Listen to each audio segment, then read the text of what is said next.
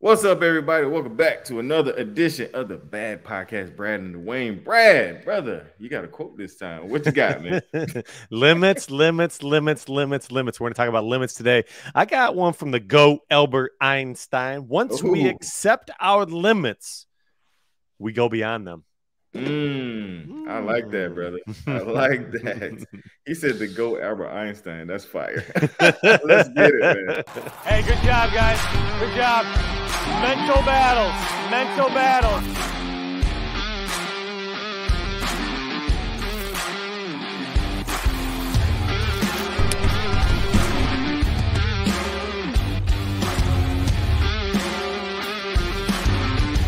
Hey man, eat man for life, baby.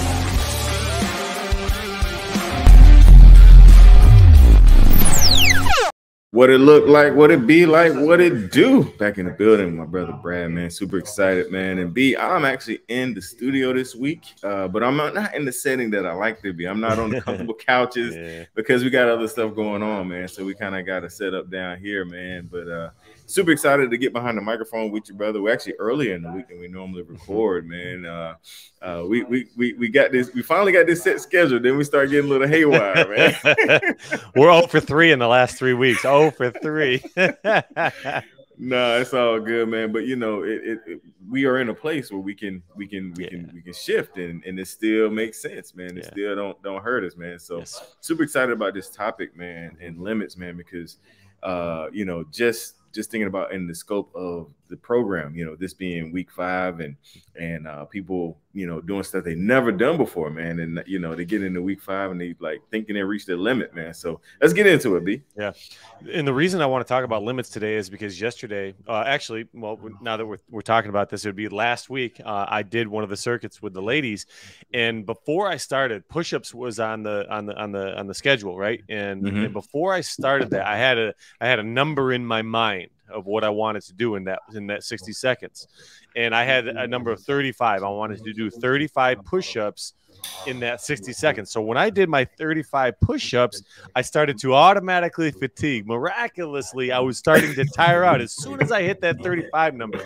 And I started to think to myself, why did I even put why did I pick 35? Was that a was that a past expectation? Right. Was that something that I had done in the past? Like 35, was that something that I had hit before and, and just accepted the fact that hey, 35 is where I'm at. That's my limit, right? Mm. Um, so, so the second round I got back to it and I thought, okay, I'm not going to set no number. I'm not going to set a number on what I can and cannot do. I'm not going to place a limit on me. I'm mm-hmm. just going to go. I'm going to go. I'm going to tap in. I'm going to max out. I'm going to mm-hmm. go all in. I didn't set a limit. I didn't mm-hmm. set any expectation for myself. I just wanted to tap in and max out.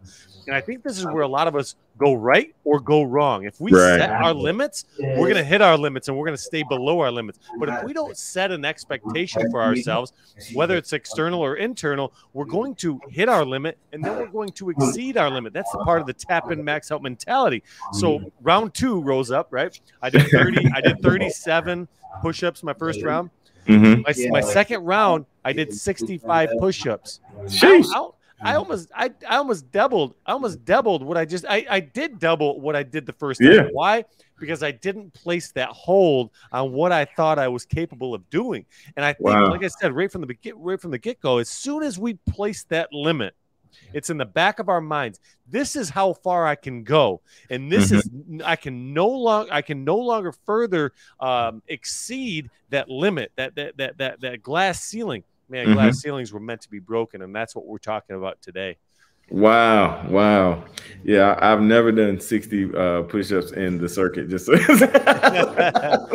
don't know if it, I don't know if there's a, I don't know if there's a limit thing there, B. Like I don't No, that's that's so fire, man, because um, like you said, once you place it there, it, it's almost like you put the mental stop point.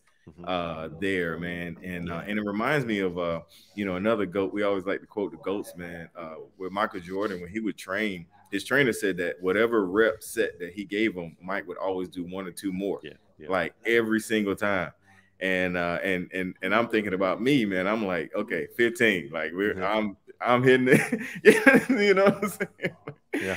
I hit that 15. I, am I'm, I'm I'm happy with, with that, man. But but it, it, goes back to like you said, it's a mentality, man, and uh and and and seeing and making a line. But like you said, it's two two ways it can be taken. Like sometimes that line is there to strive towards. Right. You know, sometimes it's it's great to strive towards that line and and and uh, you know, but but once you get there, don't stop there. Right. You know, yeah. and, and and and and it's funny because I know that that you know felt fatigued feeling you got you know when you hit like, like uh, you know do I, I hit my number do I really want to push for mm-hmm. more, man. So so I can relate to that so much, man. And and I think that uh I mean, I, and I think I know a lot of people fall short of their potential because of the limit that ooh, B, check this out, because of the limit somebody else put.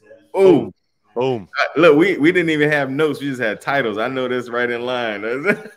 Go ahead, man. Go ahead. no, no, and, and I was just gonna say where are limitations born? There's two places limitations are born. The limits that we place on ourselves mm-hmm. first past experience, past success, or mm-hmm. past failure. That's that's one of the first things that that's the reason that we place limits on what we can do and what we can accomplish. And the second, right. like you said, that external influence. We allow these things to dictate what we can do today. And yes. I always say, man, I always say this.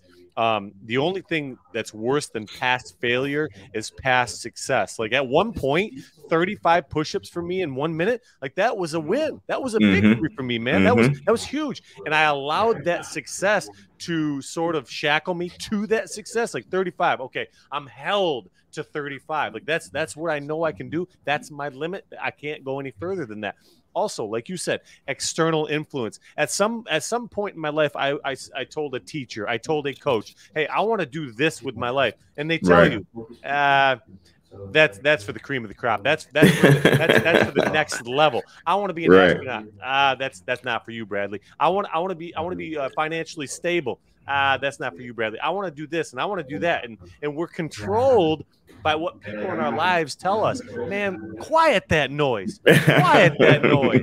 Man, external external influence, man. Quiet that noise and cut it out. Yeah, no, hundred percent, man, hundred percent. Like, and, and it's it's wild because everybody that's in those places that made those, you know, those achievements, they had someone tell them they couldn't do it. Yes. You know, it is rare that you find somebody that that made that kind of achievement that that like you said that that became the cream of the crop. You know, they weren't made the cream of it; they became it, man, because they didn't listen to the people telling them that they couldn't mm-hmm. do it.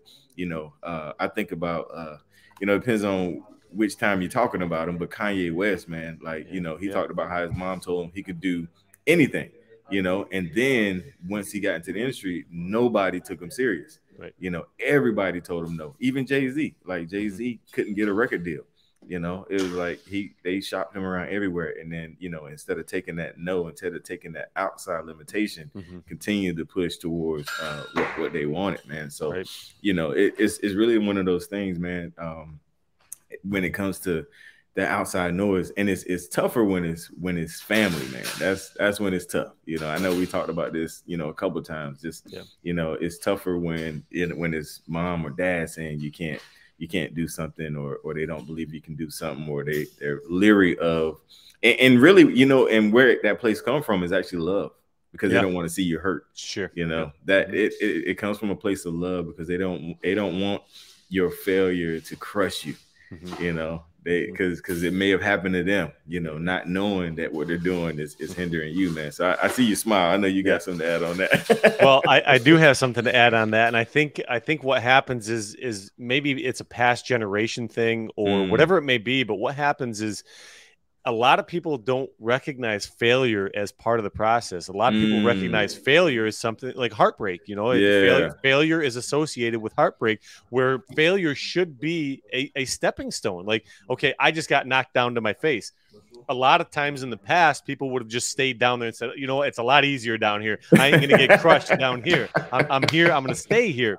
Right. But, but, but you know, once we rise to our feet we we have to expect another blow. We're gonna get hit again. Yeah. We're gonna get hit again. We're gonna get hit again until we don't. And and I always like talking about Tom Brady. You know, it's yeah. a, it's a hate love relationship. I say hate first because I you know I grew up a Buffalo Bills fan, right, and, right. he just and he just shattered our dreams for 25 years or however long it was. I don't know. But Tom Brady went to 10 Super Bowls.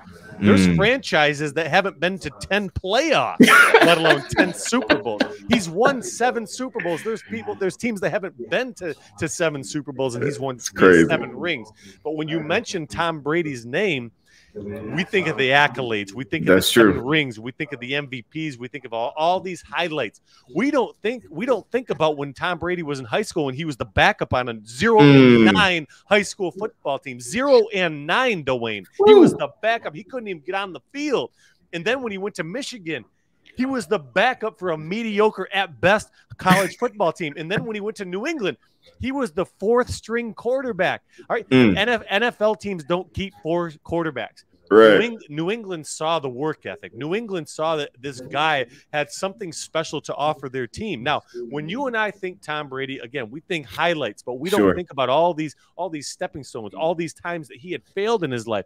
And and here's here's the here's the problem with with thinking about Tom Brady. You know what? You know what the, the, the society's issue is with people like Tom Brady when, and with people that want to try to take their game to the next level is people want to pull those type of people down. They want to pull yeah. them back because they can't accept the fact that hey, somebody's going above and beyond. Somebody's working harder than me. People mm. don't like seeing people outwork work them.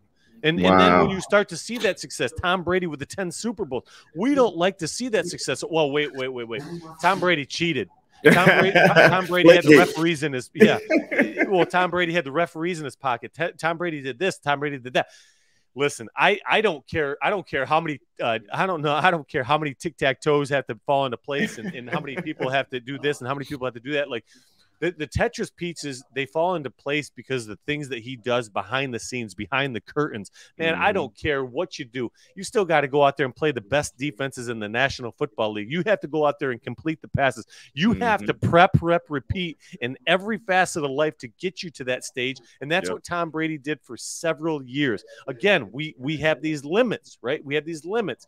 First of all, my limit, my mental limit, I can't get on Tom Brady's level because when I experience the type of failure that he experienced, I'm, I'm pulling back. Yeah. I'm, I'm, I'm, pulling back a little bit. You know, I, I, I've, I've been told my entire life, I can't, I can't, I can't, I can't, and can't, and continue to prove people wrong. Mm-hmm. And, and mm-hmm. again, you know, it comes back to limits. People place limits on me. I place limits on myself, and that's just that's the that's the norm. And we need to break somehow break through that boundary. Yeah, man. No, that's that's crazy, man. And, and I, am with you. I, I, think I have a hate hate relationship with Tom Brady. Uh, we all I'm do. a Colts fan, man. I'm a you know, yeah, I'm a, I'm a New England Colts fan, and uh, I'm a New England Colts. I'm an Indianapolis Colts fan. I, I, almost cussed online. We, this ain't ready.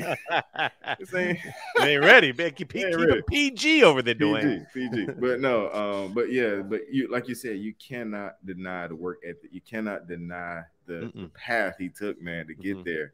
Um, you know, like it just it surpasses hate, man. When you yeah. talk about like this, I didn't know about the high school team was 0 and 9. Like that's I had no idea about that's new stat for me, man. But I knew about you know Michigan, I knew about you know being drafted and all of that stuff, man. Mm-hmm. So it's just it's just one of those things, man, that um, you know, seeing that uh, inspires us, man. We could do the very same thing on our level, on in in our playing field. It might we not might not be winning Super Bowl rings, but you know we can conquer the day, man. We yeah. can finish a week. You know we can do you know sixty push-ups. We could do you know we can do things uh, that that push the limit on our side as well, man. And we can use people like Tom Brady uh, to, to, inspire us, man, to, to, let us know that, that that can be done, man. So, uh, no, I, I, I, love I love this topic, man, because I think it's really going to help a lot of people um, just just take it to the next level, man. And and we're always trying to push them and, and motivate them.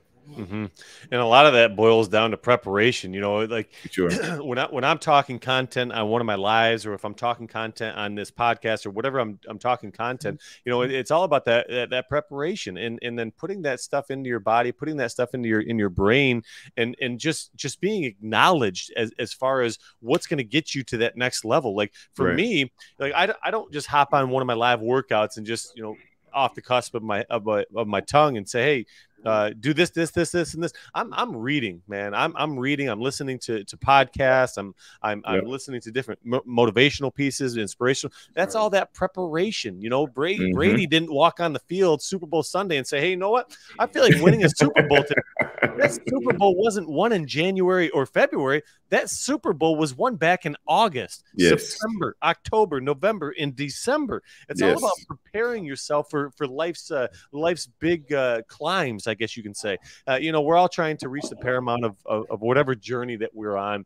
You know, ours is our, our focus is fitness, obviously. Uh, yeah. Uh, but I, I, I, would like to think of this podcast as not just fitness, but as growth in general. Mm. And, and, and, it's so relatable across the board. You know, it, sure. it, they're both hard. They're both difficult to achieve, and and you know, the further that we climb, the steeper the climb is, and the and the and the closer that we get to narrowing in on that target, and that target shrinks. You know, I eh, one of the common questions is, "Hey, I, have plateaued. I got five pounds to go, and I've plateaued."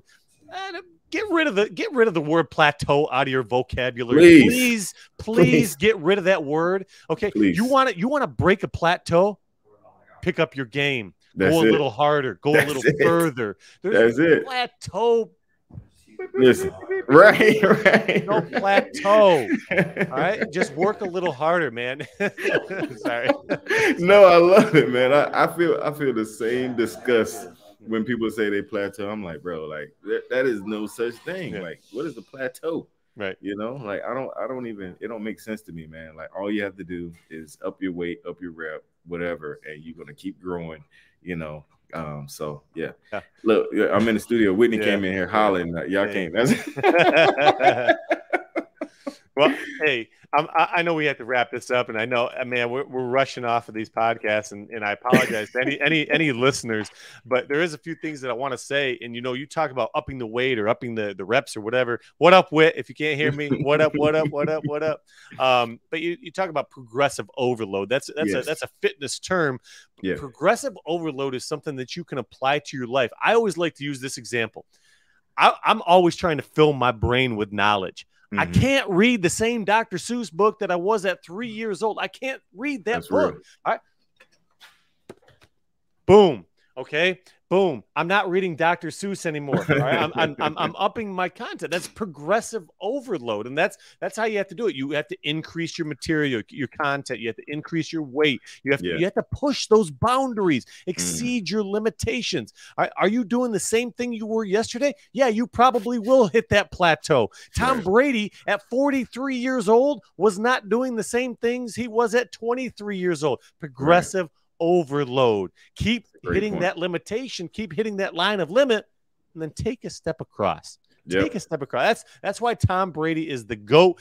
Don't anybody, don't anybody don't anybody question that, and don't anybody come at me with that because he is the goat. Ten Super Bowls, seven Super Bowl wins. I don't like the guy on the football field, but I like what he's done with his with his life because that's that's that's that's what we all strive to achieve. You know, in in the grand scheme of things, man, we we want to be the best of the best at everything and anything that we do. So that's all I got to say about that. hey, that's a, that's a mic dropper right there, yeah. man. And so because we didn't give it to the folks last week, we got to do it this time, man. So let's get. Do you know? All right, guys, this is my turn on the Do You Know fun fact, uh, and so this is a, a it's a cool one, man. Um, you know, I went to a small high school, um, and my Do You Know fact about me is I was the only senior to uh, play, start, and letter in uh, three sports. We only had we only had three sports, so I wow. mean we had four, but you know, but I was the only senior to do so, man. Football, basketball, and uh, and I ran track, man. So that's hey, the do you know moment about me. You're a track star, Dawain. I need you to meet me on the asphalt and run a 5K with me. That is a negative. So, all right, guys, we're gonna get out of here. oh man, until next time, man. We appreciate you guys tuning in to the Bad Podcast. Make sure you tell your friends, your family, to screenshot your player, take a selfie with your YouTube uh, on your TV, all the stuff, man, and tag us in your stories. Until next time, man. We're out of here. Peace out. Yeah.